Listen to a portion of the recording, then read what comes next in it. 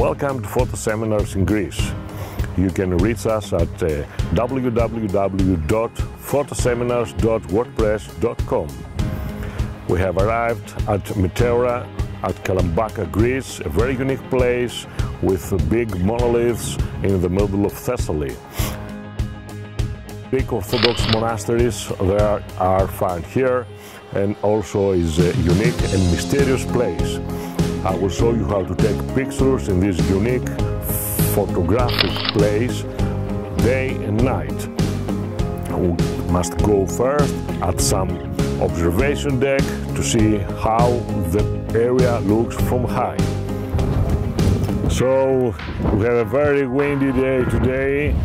Uh, it's uh, Easter day and uh, as you can see the wind is uh, about uh, 9 to 10 Beaufort. Uh, I will make uh, some time lapse here and uh, there is a lot of people here, a very big uh, uh, group of tourists coming from uh, all over the world over there. So I starting uh, make time lapse with my small tripod and my 5D uh, Mark II and uh, uh, also my 7D uh, is my second camera with big telephoto lenses.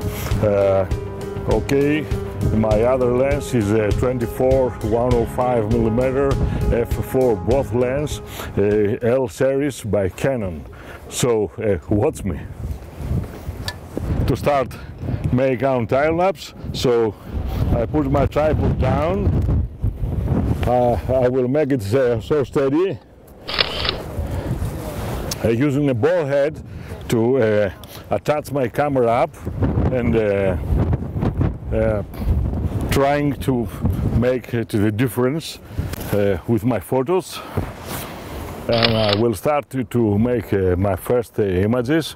I will take a magic lantern to my Canon camera and uh, starting uh, shooting about 700 pictures uh, f11 uh, aperture value uh, ISO 100 or if your camera supports uh, 50 ISO it's much better. So let's start the camera has begun uh, taking shots and uh, I'll need about uh, 50 minutes to 60 minutes uh, to complete uh, the whole shoots. So you see the results very soon.